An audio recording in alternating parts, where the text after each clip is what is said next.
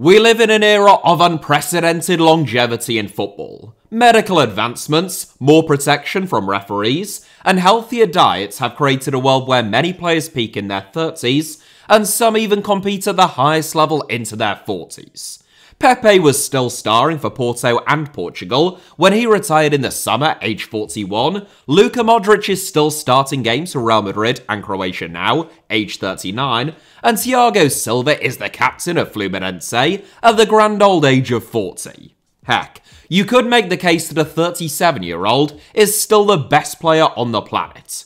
Not everyone enjoys such extended periods of time, flourishing at the highest level though. Football is an entertainment business after all, and as in the music or film industries, it has had no lack of one hit wonders.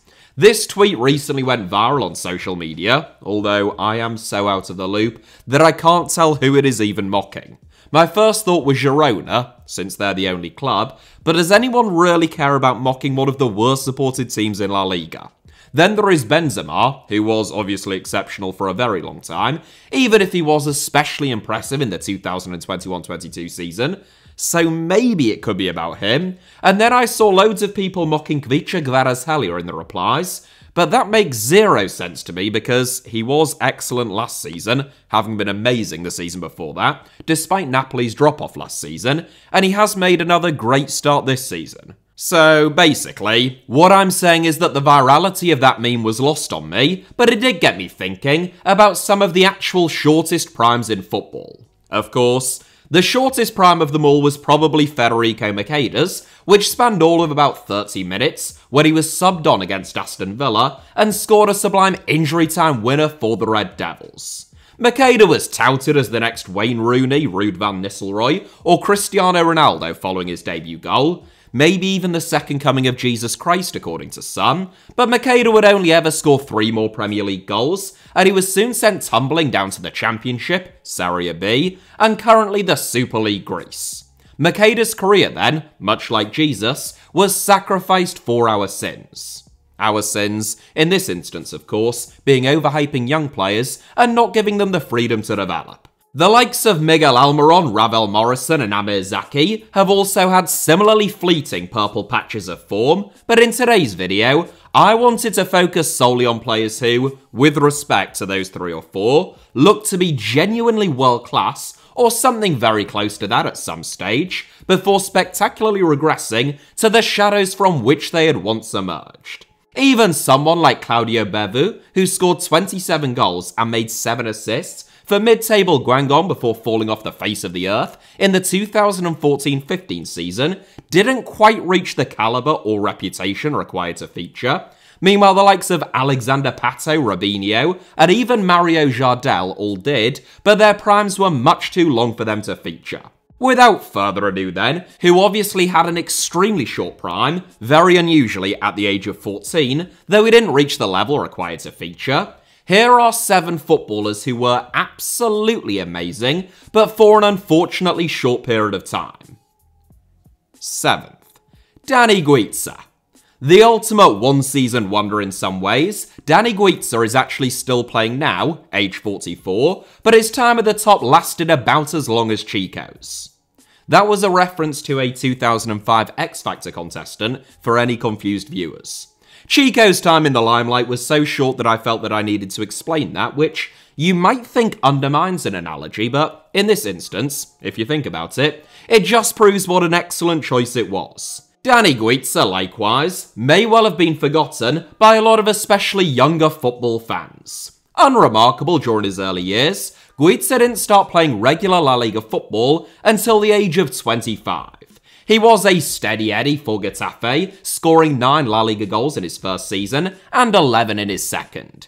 It was age 27, following a 5 million euro move to Mallorca, that Guiza announced himself to Spanish and indeed world football. Superlative during his single season in Parma, Guiza scored an astonishing 27 goals in 37 games for a team that only finished 7th in La Liga, and 29 goals in all competitions adding Guiza's 8 assists, and the Spaniard averaged a goal contribution once every 86 minutes, playing for a mid-table club.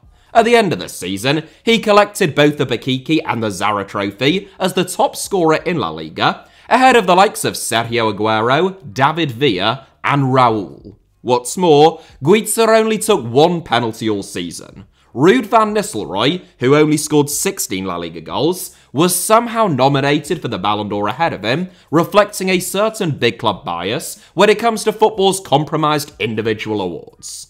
Guiza's performance levels were so impressive that he couldn't be overlooked for Spain's Euro 2008 squad, where he scored the winning goal against Greece in the group stage and struck again against Russia in the semi final, as Spain went on to lift their first major trophy of the modern era. It was obvious that cash strapped Mallorca wouldn't be able to keep hold of Guiza, who had a 14 million euro release clause and attracted the interest of Arsenal and Liverpool, but it was Fenerbahce who had just appointed Spain boss Luis Aragonés who won the race to sign him. The Turkish Super League was stronger back then, but it still seemed a slightly unusual move given the season that Guiza had just had, almost reminiscent of Victor Osimhen's recent move to Galatasaray, after a number of others fell through. Guiza scored 11 league goals and 16 in all competitions in his first season in Turkey, in which Fenerbahce finished fourth and Aragonés lost his job. His second season was much of the same, but after a return to Getafe, Guiza only scored three La Liga goals all season and looked to have been stripped of the confidence and instinctiveness that had made him unplayable just a few years earlier. Now age 44, Guiza has since played in Malaysia and Paraguay, and he now plays for Retania in the regional Primera Division Andaluza at step 7 of the Spanish Football League pyramid. For a brief moment, though, Guiza was among the most lethal forwards on the planet, finishing second in the battle for the 2007-08 European Golden Shoe to Cristiano Ronaldo, while playing for Mallorca despite playing 9 games fewer than Ronaldo and not being on penalties. So, not bad. Sixth, Adriano. An obvious inclusion, the only question mark with Adriano, in relation to this 7, is how long was his prime?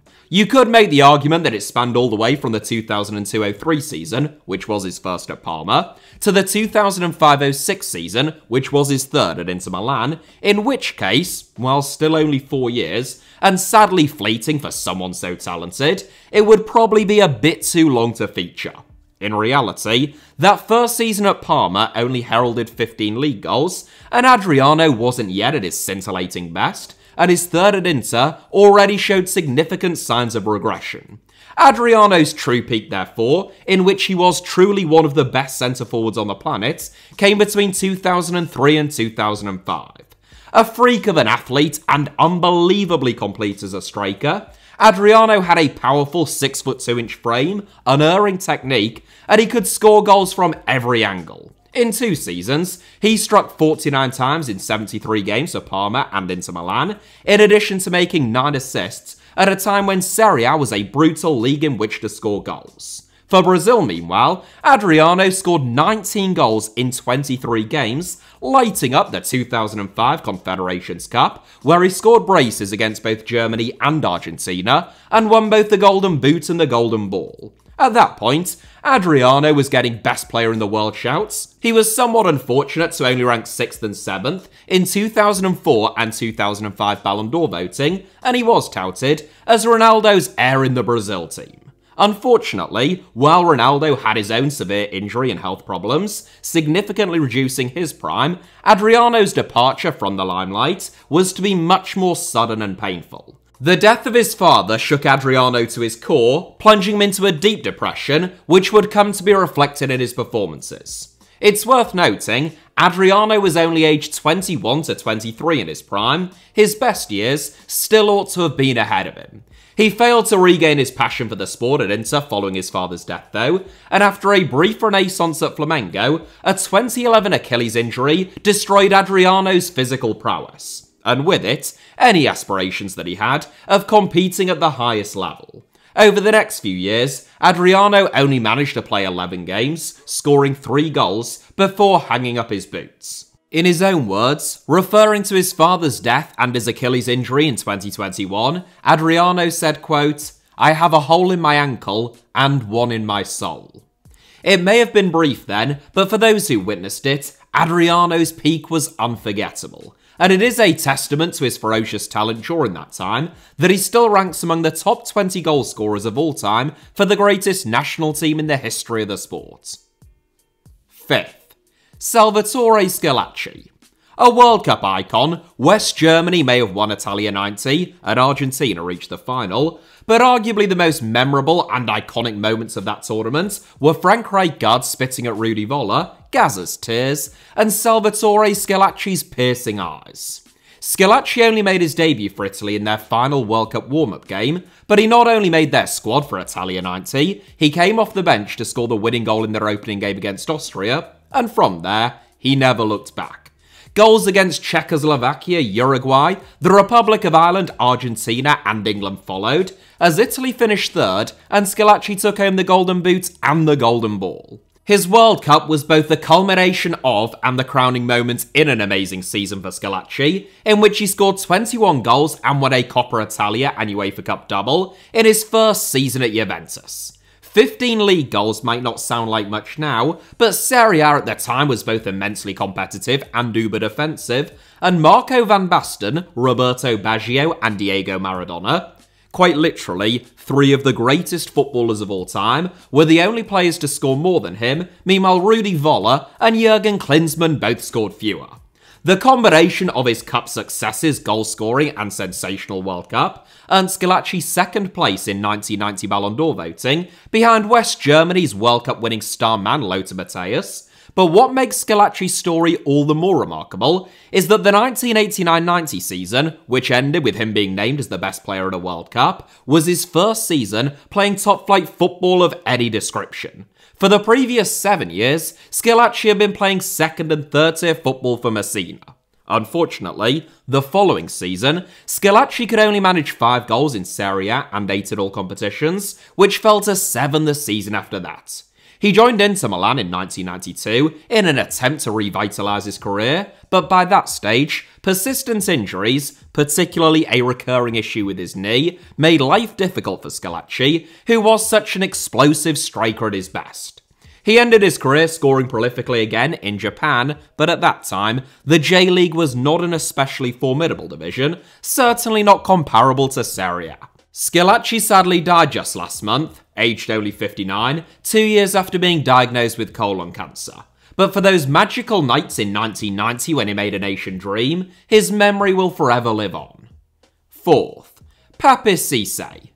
Almost the perfect inclusion in this seven, while Salvatore Schillaci made a nation dream in 1990, Papiss Cisse's start to life at Newcastle United still almost feels like a dream. There was a sort of mystical or otherworldly quality to Cisse's ethereal peak in which everything he touched seemed to turn to gold. You could argue that it started in the 2010-11 season, which was Cisse's only full season at Freiburg, in which he scored 22 goals in the Bundesliga and 24 in all competitions for a team that finished ninth. Only Bayern Munich talisman Mario Gomez scored more than him in Germany that season. Cisse picked up as he'd left off the following season with 9 goals in 17 games before Newcastle United signed him for just £9.3 million in the January transfer window. Alongside Demba Ba, who Newcastle signed on a free transfer, the two would briefly form one of the greatest pound for pound strike partnerships of all time. Over the next four months, Cisse scored 13 goals in 14 games for Newcastle, which included scoring the winner on his debut, braces against West Brom, Swansea, and Liverpool, and, most famously, an unforgettable brace against Chelsea. The first goal was impressive enough, a beautiful and instinctive touch and volley that sailed past Petr Cech, but the second, a bizarre semi-volley of a bouncing ball from an ungodly angle, which seemed to have more swerve than it should be possible to inject into a football, was just utterly stupefying. Under any other circumstance, you'd dismiss it as a fluke and pure luck. From Cisse, at that moment in time and in that form, it was at least feasible to imagine that he might actually have meant it. Make no mistake, Cisse, like every other player in this seven, was immensely talented and had his moments outside of his prime, but he was playing second tier football just two years before joining Newcastle. He scored only 13 in 47, rather than 13 in 14 for them the following season, and he soon headed to China, Turkey, and back down to Ligue 2 in France. Those two years at Freiburg and at Newcastle then, and especially those six months at Newcastle, were unlike anything else that Cisse produced. And during that time, he was legitimately one of the most devastating strikers within the sport. Third, Pepillo. Pepillo is a name that might not be instantly recognisable to most modern football fans. In fact, even in his own day, he was sometimes referred to as Pepillo too, so as not to be confused with the former Sevilla star, Jose Diaz Payán, who was also nicknamed Pepillo. There are only three photos featuring Pepillo in the entire Getty database, so, uh, as is tradition, at times I will have to include images of the Romanian singing duo The Cheeky Girls instead. Obviously. Real name Jose Garcia Castro, Pepillo 2's prime was as brief as it was brilliant. Born in Melilla, one of two colonial Spanish enclaves in North Africa, Pepillo made his name with Sevilla, with whom he had an outstanding goal-scoring record. Five years after making his debut for Sevilla, Pepillo joined the European champions Real Madrid. For Pepillo, it meant the daunting prospect of competing, primarily, with Alfredo Di Stefano for a starting berth. The best player on the planet at the time, and still, I would argue, at least one of the four or five greatest of all time, Di Stefano had a couple of injury setbacks during Pepillo's debut campaign, presenting him with a golden opportunity. To say that Pepillo grasped that opportunity with both arms would be a significant understatement.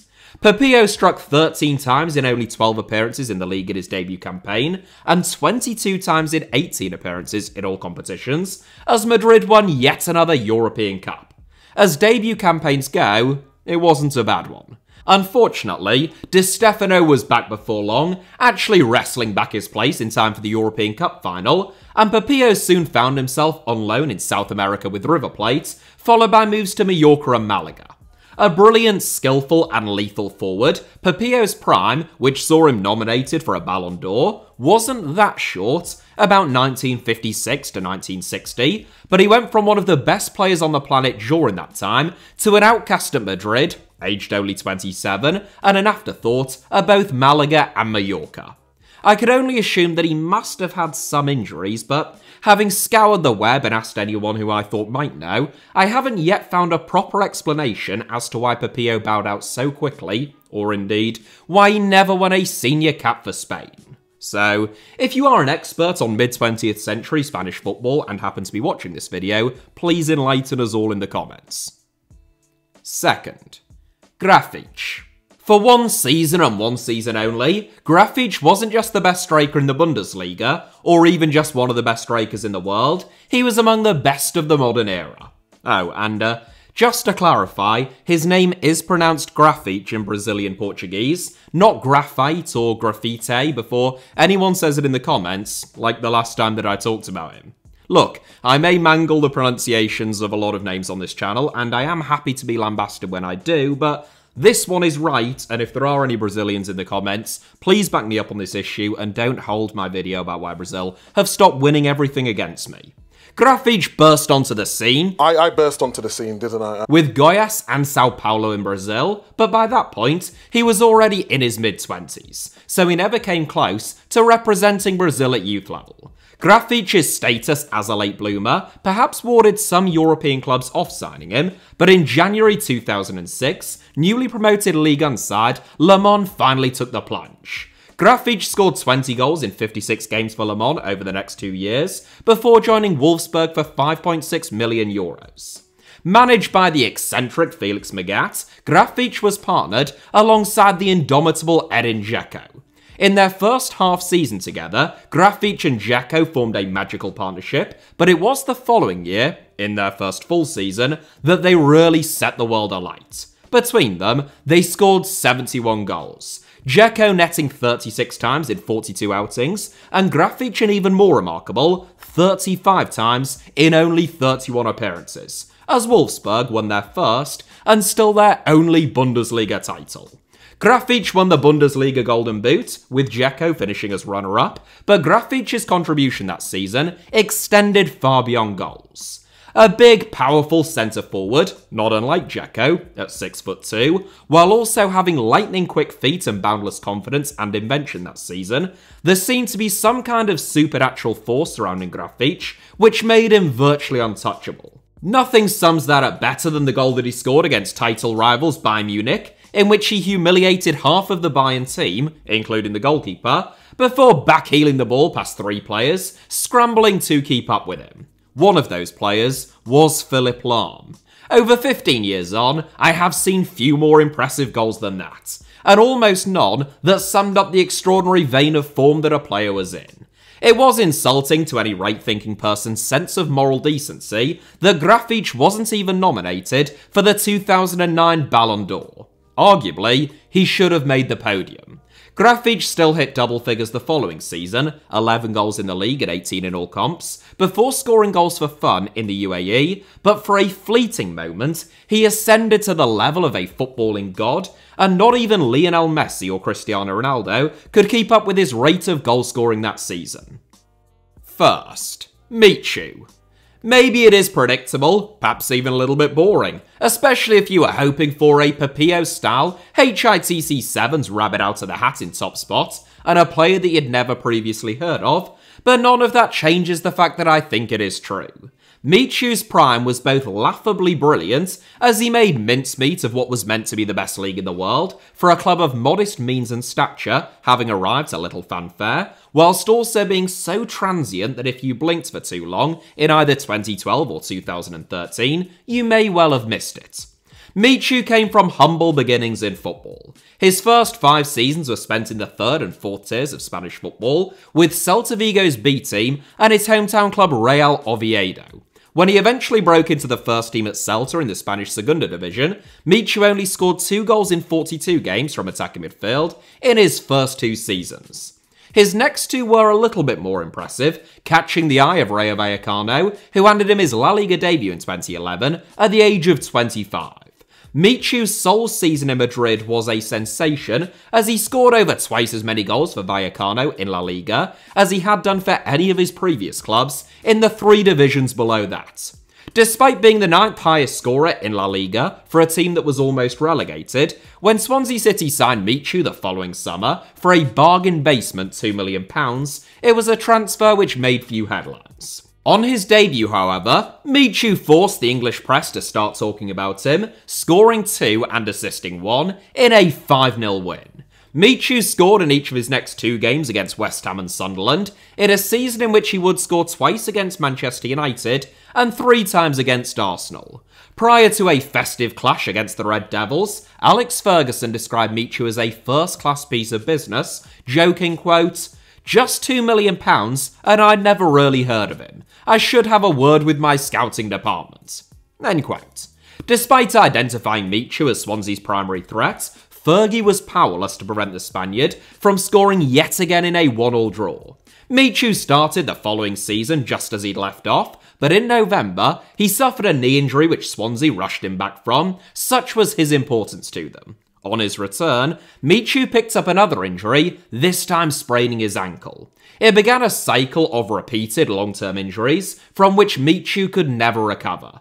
Moves to Napoli, Langreo, and his hometown club, Oviedo, followed, but the pain was too great, and Michu retired aged 31. Ultimately, Michu played top flight football for the first time at 25 and suffered what would prove to be a career ending injury at 27, but during the intervening two or so years, he was a force of nature. One of the best players in the Premier League, and he earned a late call up and cap for Spain in a squad that was immensely competitive and at the peak of their powers. Michu's demise was a tragedy in football terms, but a heroic tragedy for someone who made a greater impact in 12 or 24 months than most players do in 20 years. Michu's impact was so great that Erling Haaland idolised him growing up, describing how he would try to emulate the Spaniard in games and in training, and he's turned out half decent as a result. That is it for today's video, but thank you all very much as ever for watching. Hit the like button if you enjoyed it, I sincerely hope that was the case. Let me know your thoughts down below in the comments, and of course, it goes without saying, make sure that you are subscribed and have notifications turned on, not just for this channel, uh, HITC7s, but also my second channel, Alfie Potts Harmer, where I recently uploaded my fourth video, so go and check all of those out, uh, both of which should be about to appear on your screens now, along with a couple of videos that you might fancy watching after this one. You can also find me on Twitter, Instagram, or Threads by the username at HITC7s on all three, should you wish to do so, and all of those links plus a whole lot more should be down in the video description below.